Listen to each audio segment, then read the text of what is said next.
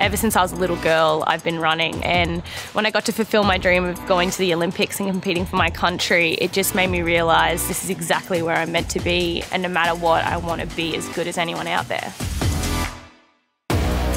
I love the rush of getting out there on court. I think when you're struggling with anything outside of netball, coming into a team environment, you feel really positive and everyone lifts you up.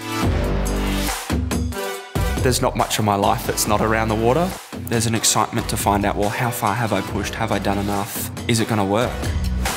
Being my best means making sure that I'm putting 100% out in the court. Being my best means performing when I don't want to perform.